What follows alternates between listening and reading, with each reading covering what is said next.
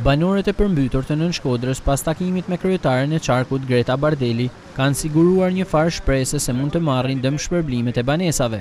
Ata kanë arritur që nëpërmjet ndihmës nga kryetarja e qarkut të gjejnë listat e vlerësimit të shtëpive me vendim të Këshillit të Ministrave të cilat pritet që të bëhen publike në një ditë shumë të shpejtë. Dje morëm një përgjigje nga Këshilli i Qarkut dhe na kërkuan dokumentacionin e kërkesës që i kemi bërë qeverive të mëparshme dhe pushtetit lokal prefekturës dhe qarkut dhe tashti po i dorëzojmë dokumentat kena arrit dhe një pikë që listat e damshpërblimeve të banesave dhe të të banesave me emra dhe me vlera ajo që përcakton aktin e vlerësimit do të na jepet sot për gjithë banorët e përmbytur në banesa.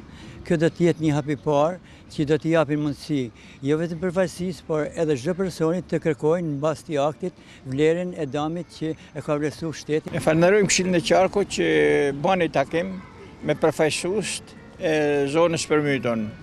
Dhe vetëm një fjalë kishim me thanë qeverisë nëpërmjet jush, ju falënderojmë edhe ju si media, që ne jena shtresë e përmytun e damtume ekonomikisht pra shteti na ka nji borxh sepse na ka myt shteti jo natyra.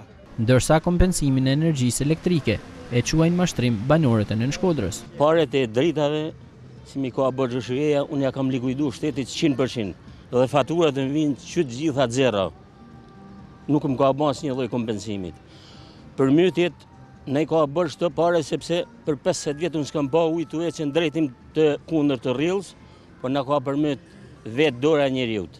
Pra ne kërkojmë që na zhdëmtojnë. Prej disa kohësh, banorët e prekur nga përmbytjet janë në protesta duke kërkuar zbatimin e vendimit të Këshillit të Ministrave për dëmshpërblimin e tyre.